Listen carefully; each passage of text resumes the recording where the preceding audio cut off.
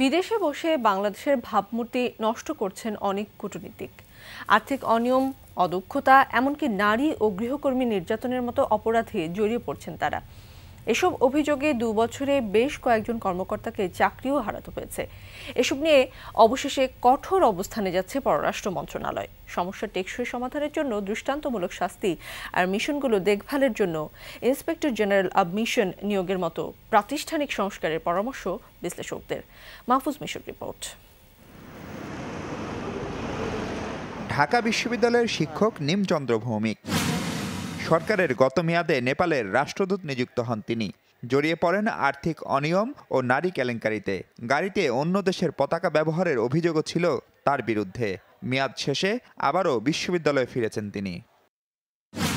গ্রিসে বাংলাদেশের রাষ্ট্রদূত গোলাম মোহাম্মদের কথাই ধরুন। তার বিরুদ্ধে আইওএমের নারী কর্মকর্তাকে যৌন হয়রানির অভিযোগ প্রমাণিত।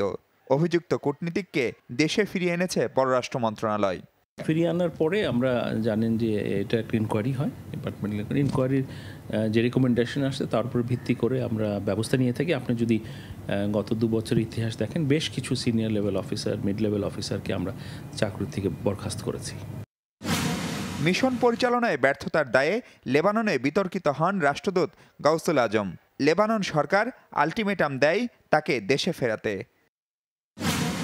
আবার অনুমতি ছাড়া বিদেশি নারীকে বিয়ে করে সমালোচনার মুখে পড়েছিলেন উজবেকিস্তানে বাংলাদেশের রাষ্ট্রদূত হাসিব আজিজ। আর গৃহকর্মীর দায়ের করা মামলায় বিচারের মুখোমুখি হতে হয়েছে নিউ ইয়র্কে কনসাল জেনারেল মনিরুল ইসলামকে।